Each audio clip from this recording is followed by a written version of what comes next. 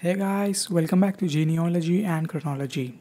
Today we are back to Middle Earth and we will be discussing about the complete timeline of Lady Galadriel, spanning over 8500 years across all four ages. I post two new videos each month concerning history, chronology and lore. Consider subscribing to my channel and following me on Reddit to find the high resolution copy of this chart. Please check out my Middle Earth series, which has 13 videos going over family trees of almost every major royal house from Tolkien's Legendarium, and also the complete chronology of the One Ring of Sauron, the Silmarils of Fëanor, and also the complete timeline of the Palantiri. Let's move on to today's topic.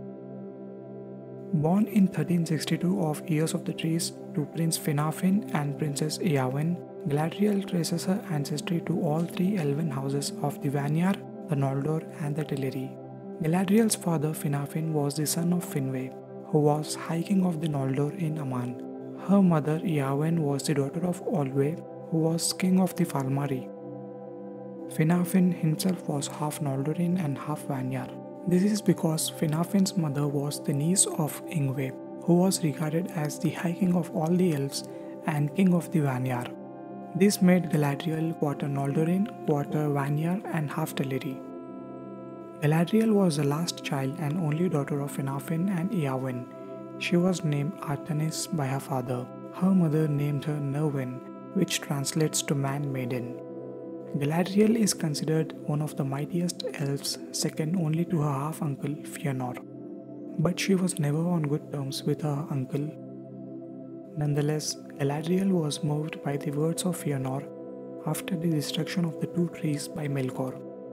She was the only woman to stand among the rising princes of Noldor who revolted against the Valar. She swore no oath but joined her uncle and cousins on their journey to Middle-earth. In 1495 of Years of the Trees, Melkor stole Fëanor's Silmaril and fled to Middle-earth. Fëanor swore an oath to recover the Silmarils from Melkor and convinced many Noldor to join him in the flight of Noldor to Middle-earth. Galadriel joined her uncle on this journey with her father.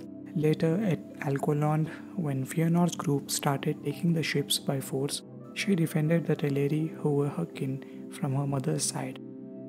When the doom of Mandos was pronounced, Finarfin returned to Valinor, but Galadriel continued the journey to Middle-earth with her other uncle Fingolfin, even as Fëanor abandoned them. After Fëanor abandoned his brother and nephews by burning the ships of Teleri at Losgar, Fingolfin and his followers were forced to take the northern route through Helcaraxë icy cold to enter Beleriand. Many elves lost their lives during the crossing through the bitter north cold. The host of Fingolfin finally reached Beleriand in the last year of the Years of the Trees, the host of Fingolfin spent 5 Valian years traveling to Beleriand, which is equal to almost 48 solar years. Galadriel likely spent the first 52 years searching and finding refuge with her brothers and cousins. The news of the kinslaying had not yet reached Thingol. Finrod and Galadriel were admitted to Doriath in year 52 of First Age and became guest of King Thingol and Melian. Finrod left soon after to establish his realm of Nargothrond, but Galadriel stayed behind in Doriath. It was around this time that she met Celeborn, who was her second cousin and also grandnephew of King Thingol. Since the elves avoided marriage during war, Galadriel and Celeborn were not married until the end of the War of the Jewels. Galadriel stayed in Doriath for 50 years before moving to Nargothrond. In year 102 of First Age, Galadriel joined her brother Finrod, who was now the king of Nargothrond, and stayed with him. We don't know Galadriel's whereabouts between years 102 and 420 of First Age. It is likely she lived in Nargothrond with her brother, as the kingdom of Nargothrond flourished. It is also likely she visited Doriath often, which was very close to Nargothrond. Galadriel returned to Doriath in 420 of First Age. She lost all three of her brothers in a span of just 10 years between 455 and 465 of First Age. Angrod and Aegnor were slain during Dagor Bragollach, and her beloved brother Finrod died in captivity while helping Beren to retrieve one Silmaril from Morgoth's crown. It is likely that the deaths of all her brothers in such a short span caused her to move further away from the events of the War of the Jewels. She and Celeborn left Doriath and reached Eriador before 495 of First Age. The couple do not play any major role in the events concerning the War of the Jewels. Following the conclusion of the War of Wrath, the First Age ended and the Valar pardoned the elves and summoned them to return to Valinor. Many elves returned to Valinor but some stayed behind. A ban was imposed upon Galadriel as she was one of the chief leaders of the Noldorin rebellion. Those who stayed behind included Gil-galad, Celeborn, Galadriel, and Elrond. Galadriel married Celeborn soon after the war ended, likely before the beginning of the Second Age. Galadriel lived with Celeborn south of River Lune in Lindon for a couple of years at the beginning of the Second Age. She likely helped her grandnephew Gil-galad become High King in Middle-earth. The couple do not stay in Lindon for more than 20 years. Celeborn and Galadriel moved to stay near Lake Nenuial. Later in Second Age, Elendil would establish his city of Annúminas on the shores of this very lake. Galadriel's daughter Celebrian was born in year 300 of Second Age, likely during their stay around Lake Nenuial. Galadriel lived around Lake Nenuial until 750 of Second Age. As Sauron stayed evil in the east, Celeborn and Galadriel moved to stay in Eregion. The lord of Eregion was Celebrimbor, grandson of Fëanor, and hence a first cousin once removed to Galadriel. Meanwhile, Sauron under Annatar's disguise came to Eriador and Eregion. Galadriel rejected Sauron, sensing lies in his words, but Celebrimbor received him well. Sauron influenced Celebrimbor to expel Galadriel, Galadriel befriended the dwarfs and with their help she crossed the Misty Mountains and got in contact with the elves of Lorinand who were known as the Nandorin. Thus, between the years 1350 and 1400 of Second Age, Galadriel along with her daughter traveled to Lorinand. Celeborn stayed behind in Eregion because of his dislike for the dwarfs. Galadriel stayed in Lorinand while Sauron guided the elven smiths in making the Rings of Power. In 1600 of Second Age, Sauron completed making his One Ring and thus the elves realized Annatar's treachery. The elven smiths came to Lorinand to seek advice from Galadriel, who advised them to hide the three elven rings. Thus, one ring was given to Galadriel and the other two were given to Gil-galad and Círdan. Around 1695 of Second Age, Sauron emptied his vast armies into Eriador and even though the elves initially succeeded Sauron's forces were able to defeat the elves. In 1697 of Second Age, Ost-in-Edhil fell and Celebrimbor, Lord of Eregion, was taken captive. Celebrimbor handed over the nine and the seven rings of power, but he did not disclose the location of the three elven rings. Celebrimbor met his end soon after.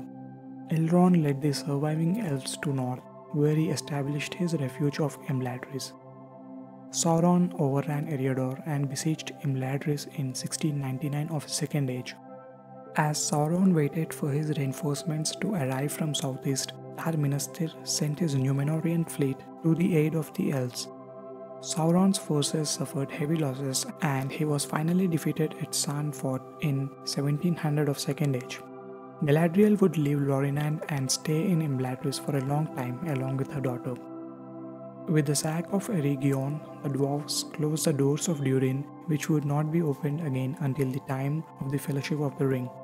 Galadriel stayed in Imladris for a long time, but now she longed to see the sea. We don't exactly know when, but sometime in late Second Age, she journeyed south to live in Havens of Belfalas, which would later come to be known as Dol Amroth. There were elves already living in these heavens at this point. Galadriel's whereabouts during the War of the Last Alliance are not clear, but she did visit Lorinand twice before the war. In year 109 of Third Age, Galadriel's daughter Celebrian was wedded to Elrond of Elven. It is likely Galadriel and Celeborn stayed in Belfalas at least until the first few years of the Third Age. This is when Galadriel sensed a shadow growing again in the east Celeborn and Galadriel journeyed to Gondor and passed through the borders of Mordor into Rhovanion to the woodland realm of King Thranduil. Galadriel and Celeborn returned to stay in Lorinand, which was now known as Lorien. Around the year 1100 of Third Age, Galadriel and other elven chiefs concluded that an evil was dwelling in Dol Guldur, which they perceived to be one of the Nazgul. Around the same time, Galadriel traveled west along with Celeborn and lived in Imladris until the late 1900s. In 1980 of Third Age, a Balrog was awakened by the dwarves who delved too deep into their minds. Durin the Sixth was slain by the Balrog and so was his son. The dwarves abandoned the Misty Mountains and the Sylvan elves fled from Lorien because of the new evil that awakened in the mountains. Among these elves was King of Lorien, Amroth. He wanted to travel to the Blessed Realm to live in peace with Nimrodel, whom he loved dearly. Sadly, Amroth and Nimrodel were separated and Amroth drowned at sea. With the loss of Amroth, Lorien was left without a ruler. Celeborn and Galadriel returned to Lorien, where they were gladly received by the remaining elves. Celeborn and Galadriel jointly ruled over Lorien as Lord and Lady of Lorien. They declined from taking any royal titles. Later, in 2463 of Third Age, Galadriel summoned the White Council of which Saruman, Gandalf, Círdan and Elrond were part of.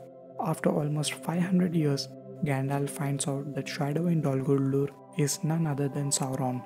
And so, in 2941 of Third Age, the White Council drives Sauron out of Dol Guldur. Elrond kept Galadriel informed about the council in Imladris. Galadriel was also informed about the Fellowship of the One Ring. When the Fellowship arrived in Lorien in early 3019, Galadriel was informed of the fall of Gandalf and Durin's Bane. The Fellowship stayed in Lorien for almost a month, and Celeborn and Galadriel gave gifts to them. A day after the Fellowship leaves Lorien, Gwaihir brings Gandalf to Lorien.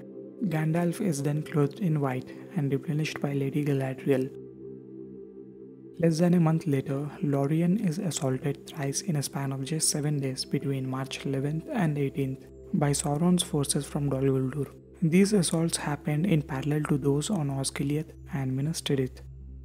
After Sauron was defeated and the Barad-dûr fell, Celeborn and Galadriel crossed the river Anduin with the Elven forces and destroyed Dol Guldur. Galadriel threw down the fortress walls and the pits of Dol Guldur were open to the sky. After the war ended, Galadriel and Celeborn traveled to Gondor to attend the wedding of their granddaughter, Arwen, to Aragorn II. They later joined King Theoden's funeral procession to Rohan. Later, they journeyed north where Galadriel met Treebeard. She also met Saruman for one last time after he was released by Fangorn. Two years later, in 3021 of Third Age, Galadriel left Middle-earth along with her son-in-law, Elrond, Gandalf, Bilbo and Frodo. Celeborn would stay in Middle-earth for first few years of the Fourth Age after which he too passed over the sea to the Blessed Realm. In year 120 of the Fourth Age, Gimli along with Legolas journeyed over the sea and came to the Blessed Realm. It is said that he was admitted to Valinor only through Galadriel's interventions. I hope you all like this video of the complete timeline of Lady Galadriel. Be sure to join me next month as I will discuss another interesting topic from Middle-earth. You can watch the complete Middle-earth playlist which has 13 videos going over every major royal house from Middle-earth and also the complete chronology of the One Ring, the Silmarils and the Palantiri. All my charts are freely available on Reddit and Twitter. If you like my work, consider supporting me on Patreon or you can buy me a coffee by scanning this code. Please like the video and share it with your Tolkien friends and family. To view the high resolution copy of this chart, please visit my Reddit. Thank you.